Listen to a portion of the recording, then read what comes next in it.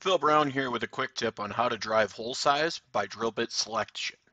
First, you're going to start with your drilling operation and go ahead and pull in your first drill bit. In this case, I'm going to use an eighth inch drill bit for my first hole.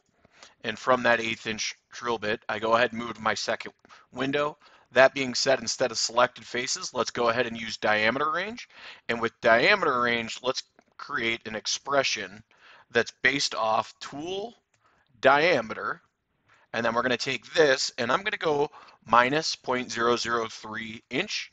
So again, I'm using 3 thou for a threshold as well as I'm going to copy and paste this so when I go into my other screen, I have the ability to just edit the minus into a positive. So again, I paste that in here.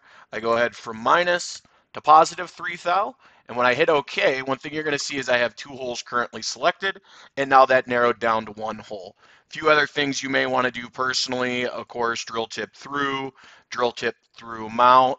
And now that I have that set, I could go ahead and turn this into a template. So I'm going to go ahead and store as template, and then I'm going to say drilling by drill size through hole.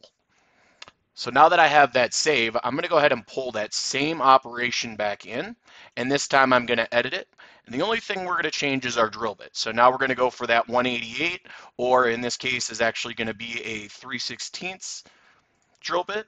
And as soon as I hit OK, you can see it jumps to my next hole. If I repeat this process a couple more times, we can now jump into a half inch drill bit, or excuse me on that, a quarter inch drill bit.